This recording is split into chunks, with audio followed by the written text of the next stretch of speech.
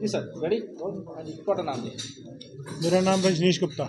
ਜੀ ਅੱਜ ਤੁਸੀਂ ਮੀਟਿੰਗ ਕੀਤੀ ਹੈ ਕਿਹੜੇ ਕਿਹੜੇ ਮੁੱਦੇ ਲੱਗਦੇ ਆ ਕਿ ਇੰਡਸਟਰੀ ਚਿੰਤਾ ਦਾ ਵਿਸ਼ੇ ਹੈ ਜਿਸ ਤੋਂ ਤੁਸੀਂ ਕੱਲ੍ਹ ਮਿਲਣ ਜਾ ਰਹੇ ਹੋ? ਸਭ ਤੋਂ ਵੱਡਾ ਵਿਸ਼ਾ ਇਹ ਹੈ ਜੀ ਜਿਹੜਾ ਚਾਈਨਾ ਤੋਂ ਕਪੜਾ ਸਰਕਾਰ ਨੂੰ ਚੂਨਾ ਲਗਾ ਕੇ ਚੋਰੀ ਕਰਕੇ ਕੱਟ ਬਿਨਾਂ ਐਕਸਾਈਜ਼ ਡਿਊਟੀ ਤੋਂ ਕੱਟ ਰੇਟਾਂ ਤੇ ਆ ਰਿਹਾ ਹੈ, ਉਸ ਨੇ ਸਾਡੇ ਉਦਯੋਗ ਨੂੰ ਤਬਾਹ ਕਰ ਦਿੱਤਾ। ਸਾਡੇ ਨਾਲ ਜੁੜੇ ਸਾਰੇ ਉਦਯੋਗ ਧਾਗੇ ਤੋਂ ਸ਼ੁਰੂ ਹੋ ਕੇ ਨਿਟਿੰਗਾਂ ਤੋਂ ਸ਼ੁਰੂ ਹੋ ਕੇ ਡਾਈਂਗ ਡਾਈਂਗ ਤੋਂ ਬਾਅਦ ਕੱਪੜਾ ਬਣਦਾ ਹੈ, ਕੱਪੜਾ ਜਿਹੜਾ ਵਪਾਰ ਕਰ ਰਿਹਾ ਉਹ ਬੰਦਾ, ਉਸ ਤੋਂ ਬਾਅਦ ਜਿਹੜਾ ਗਾਰਮੈਂਟ ਬਣਾ ਰਿਹਾ, ਉਹ ਬੰਦਾ, ਹਰ ਬੰਦਾ ਉਸ ਤੋਂ ਇਫੈਕਟਡ ਹੈ। ਔਰ ਉਹਦੇ ਨਾਲ ਸਾਡੀਆਂ ਇੱਥੇ ਦੀ ਫੈਕਟਰੀਆਂ ਖਾਲੀ ਹੋਈ ਪਈਆਂ, ਸਾਨੂੰ ਹਰ ਮਹੀਨੇ ਨੁਕਸਾਨ ਹੋ ਰਿਹਾ ਔਰ ਇਹਦੇ ਤੇ ਸਰਕਾਰਾਂ ਦਾ ਕੋਈ ਧਿਆਨ ਨਹੀਂ ਗਿਆ। ਕਈ ਵਾਰੀ ਕਈ ਪ੍ਰਦੇਸ਼ਾਂ ਤੋਂ ਵੀ ਇਹਦੀ ਪ੍ਰੈਜੈਂਟੇਸ਼ਨ ਉੱਪਰ ਸਰਕਾਰਾਂ ਤੱਕ ਭੇਜੀਆਂ, ਲੇਕਿਨ ਹਾਲੇ ਤੱਕ ਕੋਈ ਵੀ ਕਾਰਵਾਈ ਨਹੀਂ ਹੋ ਰਹੀ। ਉਹਦੇ ਮ- ਮਤਲਬ ਸੰਬੰਧ ਦੇ ਵਿੱਚ ਅਸੀਂ ਉਹਨਾਂ ਨੂੰ ਕੱਲ ਮਿਲਣ ਜਾ ਰਹੇ ਹਾਂ। ਇਹ ਕਿੰਨੀਆਂ ਕੁ ਫੈਕਟਰੀ ਦੇਖੋ ਸਿੱਧੇ ਸਿੱਧੇ ਤੌਰ ਤੇ ਪ੍ਰਭਾਵਿਤ ਨੇ? ਤੁਸੀਂ ਇਹ ਦੇਖੋ ਜੀ, ਲੁਧਿਆਣਾ ਜਿਹੜਾ ਸ਼ਹਿਰ ਹੈ, ਉਹ ਤਾਂ ਮੰਨੇ ਹੀ ਹੌਜ਼ਰੀ ਵਾਸਤੇ ਜਾਂਦਾ ਹੈ। ਤੇ ਸਾਰੇ ਦਾ ਸਾਰਾ ਲੁਧਿਆਣਾ ਹੀ ਜਿਹੜਾ ਹੌਜ਼ਰੀ ਦੇ ਨਾਲ ਔਰ ਧਾਗੇ ਦੇ ਨਾਲ ਜੁੜਿਆ ਹੋਇਆ ਹੈ। ਉਹ ਸਾਰੇ ਦਾ ਸਾਰਾ ਲੁਧਿਆਣਾ ਹੀ ਇਸ ਵੇਲੇ ਡਿਸਟਰਬ ਹੈ। ਔਰ ਇੰਨੀ ਵੱਡੀ ਕੁਆਂਟੀਟੀ ਸਾਡੇ ਕੋਲ ਸਾਰੇ ਉਹਦੇ ਤੱਥ ਪਏ ਨੇ। ਉਹ ਤੱਥ ਦੇ ਨਾਲ ਲੈ ਕੇ ਜਾ ਰਹੇ ਹਾਂ ਵੀ ਕਿੰਨੇ ਟਨ ਰੋਜ਼ ਦਾ ਕਪੜਾ ਇੱਥੇ ਲੁਧਿਆਣੇ 'ਚ ਬਿਨਾਂ ਟੈਕਸ ਦਿੱਤੇ, ਬਿਨਾਂ ਡਿਊਟੀ ਦਿੱਤੇ ਆ ਰਿਹਾ ਹੈ। ਜਿਸ ਕਪੜੇ ਦਾ ਮੁੱਲ 400 ਰੁਪਏ 500 ਰੁਪਏ ਜਾਂ 600 ਰੁਪਏ ਕਿਲੋ ਹੈ, ਉਹਦਾ ਬਿੱਲ 50 ਰੁਪਏ 60 ਰੁਪਏ 70 ਰੁਪਏ ਕਿਲੋ ਜਾਂ ਲੋਟ ਦੀ ਸ਼ੇਪ 'ਚ ਆ ਰਿਹਾ ਅਲੱਗ-ਅਲੱਗ ਬੰਦਰਗਾਹਾਂ ਦੇ ਡਿਟੇਲਾਂ ਸਾਡੇ ਕੋਲ ਨੇ ਕਿੱਥੋਂ ਕਿੱਥੋਂ ਕਿਸ ਐਚਐਸਐਨ ਕੋਡ 'ਚ ਮਾਲ ਆ ਰਿਹਾ ਹੈ ਲੇਕਿਨ ਉਹਦਾ ਸਰਕਾਰ ਦੇ ਕੰਨ ਤੱਕ ਜੂੰ ਹਲੇ ਤੱਕ ਨਹੀਂ ਰਹਿੰਗੀ ਉਹਦੇ ਵਾਸਤੇ ਅਸੀਂ ਕੱਲ ਜਾ ਰਹੇ ਹਾਂ ਵੀ ਇਹਦੀ ਪ੍ਰੈਜੈਂਟੇਸ਼ਨ ਪ੍ਰੋਪਰ ਦਿੱਤੀ ਜਾਵੇ। ਤੇ ਕਿਹਨਾਂ ਨੂੰ ਜਾ ਕੇ ਮਿਲਣਾ ਤੁਸੀਂ ਕਿਹਨਾਂ ਨੂੰ ਆਪਣਾ ਮੈਂਬਰ ਮਿਲਣਾ? Ministry of textile ministry of textile ਨੂੰ ਕੱਲ ਮਿਲਾਂਗੇ ਜੀ ਅਸੀਂ। ਪਿਊਸ਼ ਗੋਇਲ ਜੀ ਨੂੰ ਮਿਲਣਾ ਚਾਹੁੰਦੇ ਹਾਂ। ਤੇ ਉਹਨਾਂ ਦੇ ਥੱਲੇ ਜਿਹੜੇ ਲੈਵਲ ਆਪਣਾ ਹੋਰ ਬੰਦੇ ਨੇ of member of Parliament। Parliaments ਉਹਨਾਂ ਨਾਲ ਮੀਟਿੰਗ ਹੈ ਤੁਹਾਡਾ ਨਾਮ ਪਹਿਲਾਂ ਦੱਸੋ? ਸੁਭਾਸ਼ ਸੈਣੀ।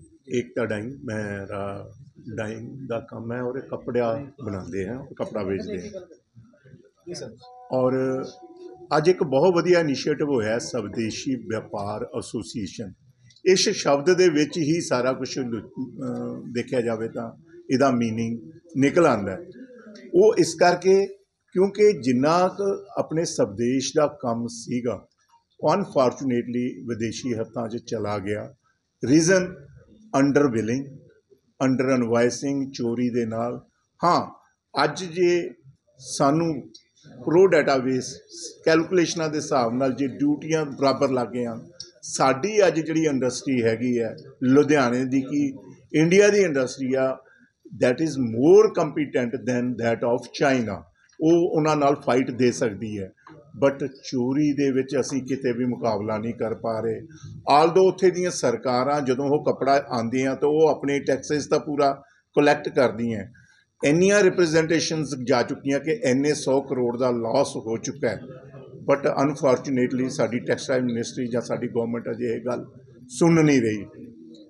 ਕਿਉਂਕਿ ਉੱਥੇ ਜਦੋਂ ਮਾਲ ਇੰਪੋਰਟ ਹੁੰਦਾ ਤੇ ਅੰਡਰ ਵੈਲਿਊ ਜਦੋਂ ਮੈਲ ਮਾਲ ਇੰਪੋਰਟ ਹੁੰਦੇ ਆ ਤੇ ਇਹਦੇ ਵਿੱਚ ਜਿਵੇਂ ਆਉਣ ਵਾਲੇ ਟਾਈਮ ਦੇ ਵਿੱਚ ਜਿਹੜਾ ਆਪਾਂ ਸੋ ਕਾਲਡ ਜਿਹੜਾ ਦੂਰ ਨੰਬਰ ਵਾਲਾ ਕੰਮ ਹੈਗਾ, ਉਹਨੂੰ ਵੀ ਬੜੋਤਰੀ ਮਿਲਦੀ ਹੈ।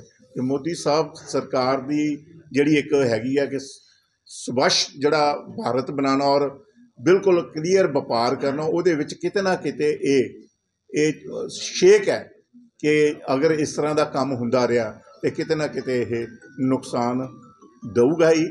ਬਟ ਇਹਦੇ ਨਾਲ ਨਾਲ ਮੈਂ ਇਹ ਗੱਲ ਜ਼ਰੂਰੀ ਕਹਿਣਾ ਚਾਹੂੰਗਾ, ਇਹ ਭਾਰਤ ਆਪਣਾ ਦੇਸ਼ ਐਗਰੀਕਲਚਰ ਪ੍ਰਮੁੱਖ ਦੇਸ਼ ਹੈਗਾ। ਐਗਰੀਕਲਚਰ ਤੋਂ ਵੱਧ ਜੇ- ਬਾਅਦ ਜੇ ਸਭ ਤੋਂ ਜ਼ਿਆਦਾ ਲੇਬਰ ਡਿਪਲਾਈ ਹੁੰਦੀ ਆ, ਉਹ that is a textile sector ਉਹ ਟੈਕਸੀ ਟੈਕਸਟਾਈਲ ਸੈਕਟਰ ਇੰਨੀ ਬੁਰੀ ਤਰ੍ਹਾਂ ਕਰਾ ਰਿਹਾ ਹੈ ਕਿ ਸਾਨੂੰ ਅੱਜ ਸਾਰੇ ਇਸ ਮੰਚ ਤੇ ਇਕੱਠੇ ਹੋ ਕੇ ਇੱਕ ਆਵਾਜ਼ ਅਸੀਂ ਪਹਿਲਾਂ ਵੀ ਉਠਾਉਂਦੀ, ਪਹਿਲਾਂ ਵੀ ਰਿਪਰੈਜ਼ੈਂਟੇਸ਼ਨਸ ਦਿੱਤੀਆਂ।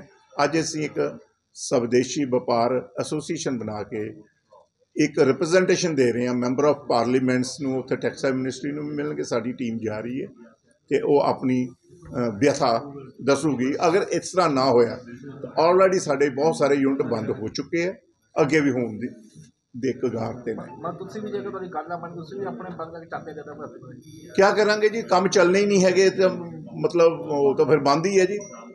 ਨੁਕਸਾਨ ਹੀ ਹੈ। ਧੰਨਵਾਦ। ਹਾਂਜੀ ਆਪਣਾ ਨਾਮ ਸਰ ਨਾਮ ਤੋਂ ਸ਼ੁਰੂ ਕਰ ਦਿਓ ਤੁਹਾਡਾ ਨਾਮ। ਮੈਂ ਬੋਲ ਰਿਹਾ। ਮੈਂ Mukesh Jain Bittu Navkar Navkar group of industry. ਸਾਡੇ ਕੋਲ ਗਾਰਮੈਂਟ ਯੂਨਿਟ ਵੀ ਆ, ਕਲੌਥ ਦਾ ਯੂਨਿਟ ਵੀ ਆ, ਕੱਪੜੇ ਦੇ ਯੂਨਿਟ ਵੀ ਆ ਤੇ ਡੈਂਗ ਯੂਨਿਟ ਵੀ ਆ। ਅੱਜ ਜਿਹੜੀ ਇਹ ਮੀਟਿੰਗ ਹੋਈ ਆ, ਲੁਧਿਆਣਾ ਪਹਿਲਾਂ ਹੀ, ਪੰਜਾਬ ਜਿਹੜਾ ਪਹਿਲਾਂ ਹੀ ਨਸ਼ਿਆਂ ਦੇ ਵਿੱਚ ਬੇੜਾ ਗਰਕ ਹੋਇਆ ਦਾ ਪੰਜਾਬ ਦਾ, ਉਤੋਂ ਇਹੋ ਜਿਹੇ ਇਹੋ ਜਿਹੇ ਕਾਨੂੰਨ ਲਾਗੂ ਕਰਤੇ ਜਿਹੜੇ 2 ਨੰਬਰ 'ਚ ਮਾਲ ਆ ਰਹੇ ਆ ਜਾਂ ਘੱਟ ਟੈਕਸਾਂ ਨਾਲ ਮਾਲ ਆ ਰਹੇ ਆ ਚਾਈਨਾ ਤੋਂ।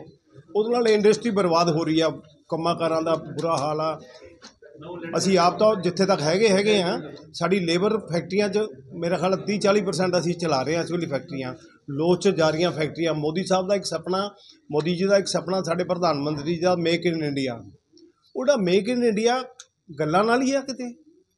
ਜੇ ਜੇ ਮੇਕ ਇਨ ਇੰਡੀਆ ਕਰਨਾ, ਜਿਹੜੇ ਇੰਨੇ ਲੋਕਾਂ ਨੇ ਇਹ ਰੋਲਾ ਪਾ ਰਹੇ ਆ ਵੀ ਉਹਨਾਂ ਨੂੰ ਘੇਰੋ ਜੀ, ਉਹਨਾਂ ਨੂੰ ਰੋਕੋ ਤੇ ਆਪਣੇ ਮੁਲਕ 'ਚ ਮਾਲ ਬਣੇ ਇੰਡਸਟਰੀ ਨੂੰ ਕੰਮ ਮਿਲੇ, ਵਪਾਰ ਲੇਬਰ ਨੂੰ ਕੰਮ ਮਿਲੇ ਕੋਈ ਸੁਣਵਾਈ ਹੀ ਨਹੀਂ ਹੋ ਰਹੀ।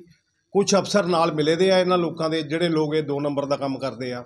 ਉਹ ਗੱਲ ਉੱਪਰ ਤੱਕ ਜਾਣ ਹੀ ਨਹੀਂ ਦਿੰਦੇ।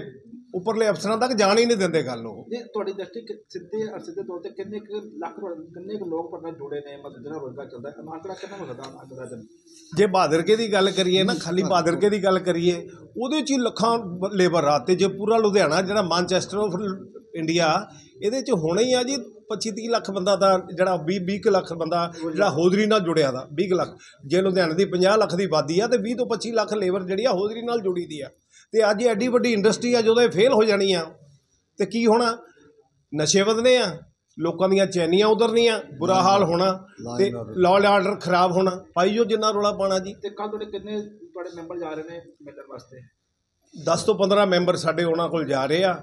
ਇੰਡਸਟਰੀ ਮਿਨਿਸਟਰ ਕੋਲ ਔਰ ਨਾਲ ਉਹਨਾਂ ਦੇ ਐਮਪੀ ਸਾਹਿਬ ਜੋ ਉਹਨਾਂ ਦੇ ਕੋਲ ਉਹਨਾਂ ਕੋਲ ਜਾ ਰਹੇ ਆ ਉਹਨਾਂ ਕੋਲ ਆਪਣਾ ਦੁੱਖੜਾ ਦੱਸਣਗੇ ਵੀ ਸਾਡਾ ਇਹ ਕੰਮ ਹੈ, ਇਹਨਾਂ ਨੂੰ ਰੋਕੋ। ਮੈਨੂੰ ਤਾਂ ਐਂ ਲੱਗਦਾ ਵੀ ਉਹ ਇਹ ਗੱਲ ਹੋ ਜੂਗੀ ਨਿਬੜ ਜੂਗੀ ਜਲਦੀ ਕਿਉਂਕਿ ਅਫਸਰ ਜਿਹੜੀ ਸ਼ਾਹੀ ਆ ਉਹ ਨਹੀਂ ਅੱਗੇ ਆਉਣ ਦੇ ਰਹੀ ਗੱਲਾਂ। ਉਹ ਗੇ- ਗੱਲਾਂ ਪਹੁੰਚਾਉਂਦੀਆਂ ਹੀ ਨਹੀਂ ਉੱਪਰ ਤੱਕ ਤਾਂ ਜੀ।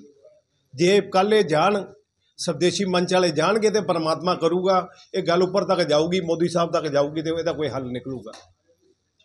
ਧੰਨਵਾਦ ਜੀ। ਧੰਨਵਾਦ। ਤੁਹਾਡਾ ਨਾਮ ਬੰਨਾ ਜੀ। ਮੈਂ Ramnik Kumar R K Satyam dyes and chemical ji ਹਾਲ ਹੀ ਵਿੱਚ ਬਜਟ ਪੇਸ਼ ਹੋਇਆ। ਇੰਡਸਟਰੀ ਕਾਫੀ ਟਾਈਮ ਤੋਂ ਮੰਗ ਕਰ ਰਹੀ ਹੈ ਕਿ ਐਕਸਪੋਰਟ ਜਿਹੜਾ ਹੋ ਇੰਪੋਰਟ ਹੋ ਰਿਹਾ ਸਾਨੂੰ ਕਾਫੀ ਨੁਕਸਾਨ ਹੋ ਰਿਹਾ। ਤਾਂ ਤੁਹਾਡਾ ਕਿੰਨਾ ਕੁ ਤੁਸੀਂ ਤੁਹਾਨੂੰ ਕਿੰਨਾ ਕੁ ਦੇਖੋ ਭਾਰੀ ਨੁਕਸਾਨ ਹੋ ਰਿਹਾ?